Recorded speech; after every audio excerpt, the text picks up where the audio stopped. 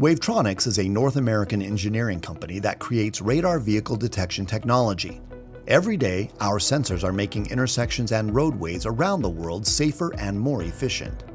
Headquartered in Springville, Utah, Wavetronix was founded in 2000 when a pair of electrical engineering professors from Brigham Young University entered the private sector with the goal of providing rewarding careers for engineers. Today, the company operates internationally with offices in China, France, Singapore, and the United Kingdom, as well as regional offices throughout the United States. Since 2000, Wavetronix has grown from an underdog to a position of leadership in the traffic detection market by providing accurate, reliable products that simply work as advertised.